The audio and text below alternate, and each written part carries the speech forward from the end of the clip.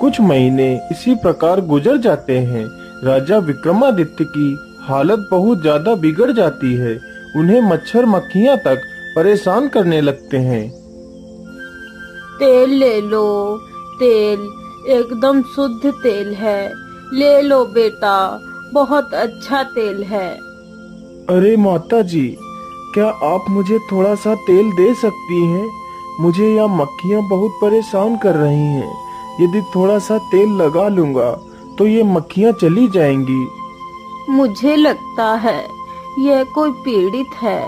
मुझे इसकी मदद करनी चाहिए। ठीक है बेटा तुम परेशान मत हो। मैं तुम्हें अपने हाथों से तेल लगा देती हूँ। फिर वह बूढ़ी महिला विक्रमादित्य को तेल लगाने लगती है। अच्छा बेटा अब तुम्हारे तेल लग चुका है। अब मैं चलती हूँ। इतना कहकर वह बूढ़ी महिला वहाँ से चल पड़ती है। उस दिन वह महिला तेल बेचते बेचते थक जाती है लेकिन उसके तेल का मटका खाली नहीं होता है।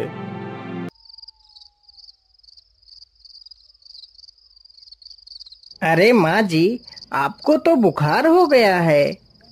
नहीं बेटा मुझे बुखार नहीं हुआ है। आज मैं तेल बेचते बेचते बहुत थक गई हूँ और मुझे लगता है कि कल मैं तेल बेचने नहीं जा पाऊँगी। कोई बात नहीं माँ आप ये दवाई खा लो कल से मैं तेल बेचने जाया करूँगा।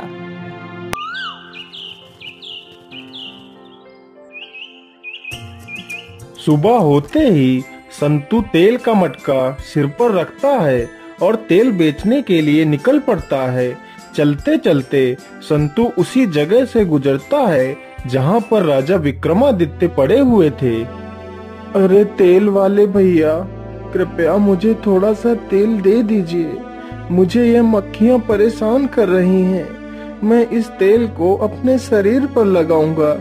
लेकिन भैया, मेरे पास पैसे नहीं हैं। अच्छा पैसे हैं नहीं और तेल चाहिए। क्या सुबह सुबह तुझे मैं ही मिला था तेल मांगने के लिए? तूने तो आज मुझसे तेल मांग कर मेरा दिन ही खराब कर दिया। मुझे लगता है आज मेरा कोई तेल भी नहीं खरीदेगा। इतना कहकर संतु वहाँ से चला जाता है। तेल ले लो तेल। देखिए कितना अच्छा तेल है। आइए भैया तेल ले जाइए।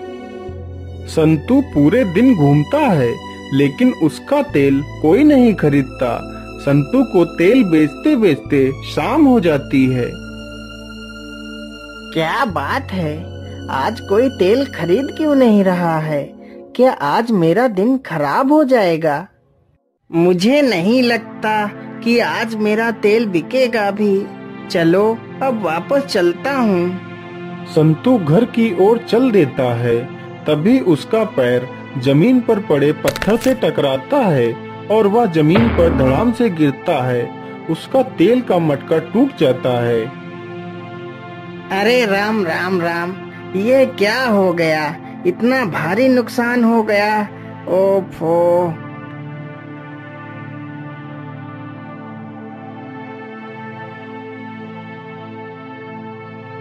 अरे बेटा तुम तेल बेचकर आ गए। तेल बिक गया कि नहीं? नहीं नहीं माँ। आज तो तेल की एक बूंद भी नहीं बिकी और तेल का मटका भी टूट गया। लेकिन बेटा ऐसा कैसे हो सकता है कि तेल की एक बूंद भी नहीं बिकी और तेल का मटका भी टूट गया? क्या बताऊँ माँ? आज सुबह सुबह जब मैं तेल बेचने के लिए निकला था तभी मुझे एक भिखारी मिल गया और उसने तेल मांगकर मेरा पूरा दिन खराब कर दिया। तो बेटा क्या तुमने उस भिखारी को तेल दिया या नहीं? नहीं माँ मैंने उस भिखारी को तेल नहीं दिया था क्योंकि वह भिखारी मुफ़्त में ही तेल मांग रहा था। अरे बेटा ये तुमने क्या कर दिया? तुम्हें उस भिखारी को तेल देना चाहिए था। जरा से तेल में तुम्हारा क्या बिगड़ जाता? तुम ऐसा करना बेटा। कल तुम तेल बेचने के लिए उसी स्थान से निकलना और उस आदमी को अपने हाथों से थोड़ा सा तेल लगा देना, फिर आगे बढ़ना।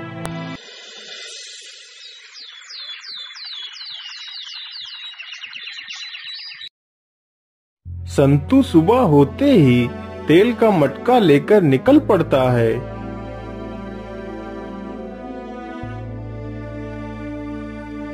अरे भैया, थोड़ा सा तेल मुझे दे दीजिए। ठीक है भैया, आप चुपचाप पड़े रहिए, मैं अभी आपको तेल लगा देता हूँ।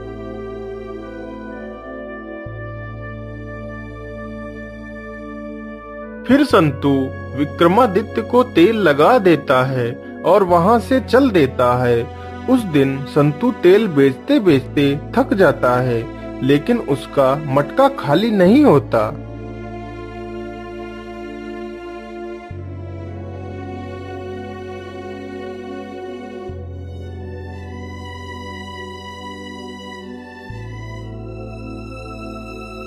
अरे माँ जी देखिए, आज तो मैं तेल बेचते बेचते थक गया, लेकिन तेल का मटका खत्म ही नहीं हुआ। देखिए माँ, आज तो मटका पूरी तरह तेल से भरा हुआ है। अरे बेटा, यह सब चमत्कार उस आदमी के कारण ही हुआ है। वह कोई साधारण आदमी नहीं है। बेटा, तुम ऐसा करो, कल उस आदमी को अपने घर उठाकर ले आना। वह कोई ज़रूर एक महान आत्मा है। अगले ही दिन संतु ऐसा ही करता है विक्रमादित्य को अपने घर ले आता है। फिर संतु विक्रमादित्य की खूब सेवा करता है। एक दिन की बात है। संतु हमारे साथ चलो। तुम्हें महाराज ने बुलाया है।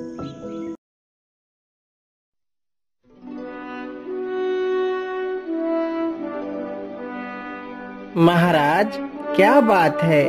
आपने हमें याद किया। बोलिए महाराज हमारे लिए क्या आदेश है?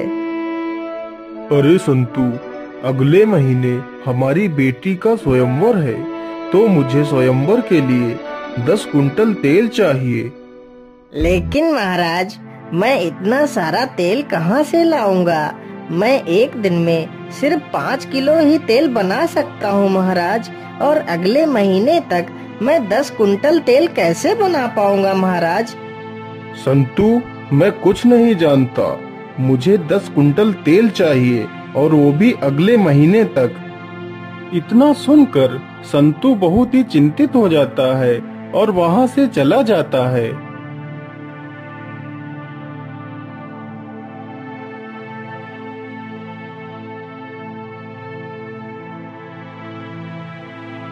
क्या बात है भाई? आज तुम बहुत ही चिंतित दिखाई दे रहे हो। क्या बताऊँ भैया आज मैं बहुत परेशानी में हूँ। समझ नहीं आ रहा कि क्या करूँ। अरे भाई ऐसी कौन सी समस्या आ गई जो तुम इतना परेशान हो रहे हो? बताओ मुझे। अरे भैया मैं परेशान इसलिए हूँ क्योंकि अगले महीने राजा की बेटी का स्वयंवर है तो राजा ने मुझसे दस कुंटल तेल मांगा है, लेकिन मैं दस कुंटल तेल अगले महीने तक कैसे बना पाऊँगा, जबकि मैं एक दिन में पाँच किलो ही तेल निकाल पाता हूँ। यदि राजा को तेल नहीं दिया तो राजा मुझे फांसी पर ही चढ़ा देगा। अरे भाई, तुम परेशान मत हो। राजा से कह दो यदि आपको दस कुंटल तेल चाहिए तो अपने महल से लेकर हमारे घर तक एक नाली बनवा दे, क्योंकि इतना सारा तेल हम लेकर तो नहीं आ सकते। इसलिए हम अपने घर से ही तेल बना बना कर नाली में डालते रहेंगे, जो तेल आपको आसानी से आपके घर तक पहुँच जाएगा। फिर संतु, यह खबर राजा तक पहुँचा देता है। राजा का तुरंत आदेश हुआ और नाली बननी चालू हो गई। कुछ दिनों में ही नाली बनकर तैयार हो जाती है। अरे भैया आपके कहे अनुसार मैंने राजा से नाली तो बनवा ली लेकिन इतना सारा तेल कहाँ से लाऊं? संतु तुम परेशान मत हो। तुम अपने तेल से भरे हुए मटके को मेरे पास लेकर आओ। फिर संतु राजा को तेल से भरा हुआ मटका दे देता है। तो राजा मटके से तेल उस नाली में गिराने लगता है। राजा मटके से तेल सुबह से लेकर शाम तक गिराता है, लेकिन मटका तेल से खाली नहीं होता। उधर राजा का पूरा कुंड तेल से भर जाता है।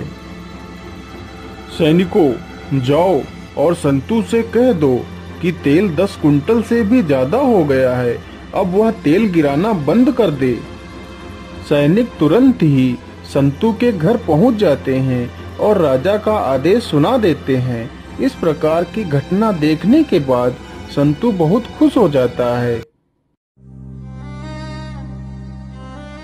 हे प्रभु, मैंने आपकी पूजा सच्चे दिल से की है और हमेशा की तरह मैंने बस आपसे यही मांगा है कि मेरे वर राजा विक्रमादित्य ही हों और दूसरा कोई नहीं।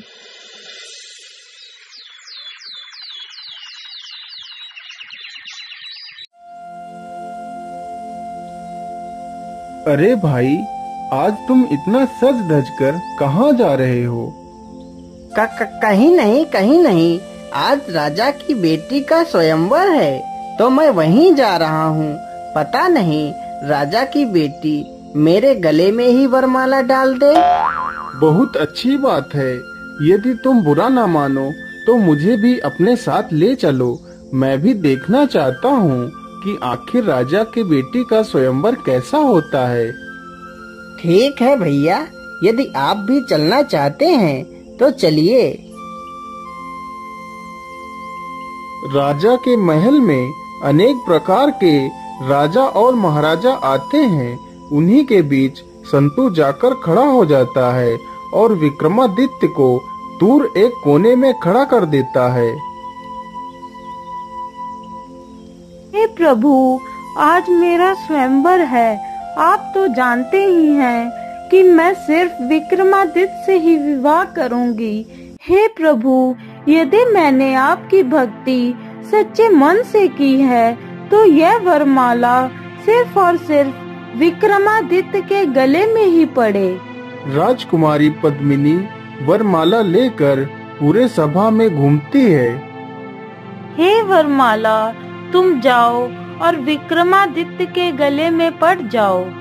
जैसे ही पद्मिनी वरमाला को आदेश देती है तो वरमाला हवा में उड़ता है और कोने में खड़े राजा विक्रमादित्य के गले में पड़ जाता है। अरे ये क्या? राजकुमारी पद्मिनी से तो भूल हो गई और उन्होंने यह वरमाला एक मामूली से आदमी के गले में डाल दिया है। हाँ हाँ राजकुमारी से पुनः वरमाला डलवाया जाए।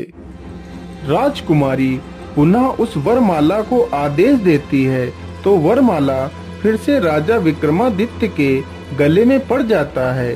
तभी राजा विक्रमादित्य के ऊपर से साढ़े छह महीने का सनी हट जाता है और वह वापस अपने वास्तविक रूप में आ जाते हैं। ये सब देखकर हैरान हो जाते हैं।